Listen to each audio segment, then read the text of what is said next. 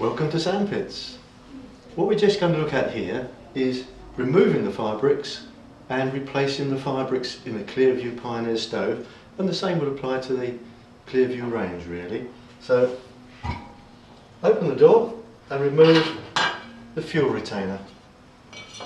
Put it to one side here. Then lifting the baffle plate, remove the back brick obviously if you're crumbled it's going to be a lot easier to take out. Then remove the side brick, the baffle plate,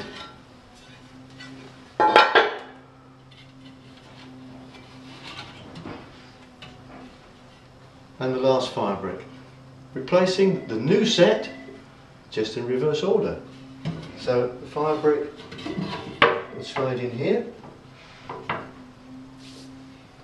then replace the baffle.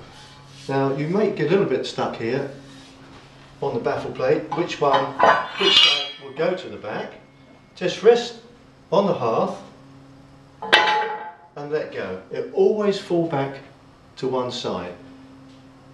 The side that falls back is the back. So that being the back would then go to the back.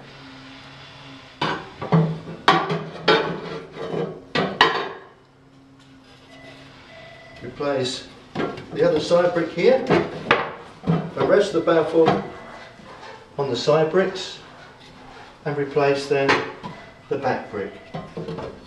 Lift the baffle plate again and slide it into place and lower the baffle plate on top.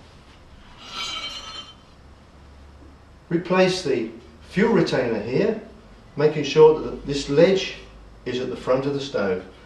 It just sits in nice and snug in between those two lugs.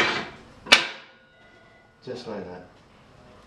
Okay, so all these spares, the baffle plate and the fire bricks are all available from our website or you can phone through or do call into our showroom here. Thank you very much.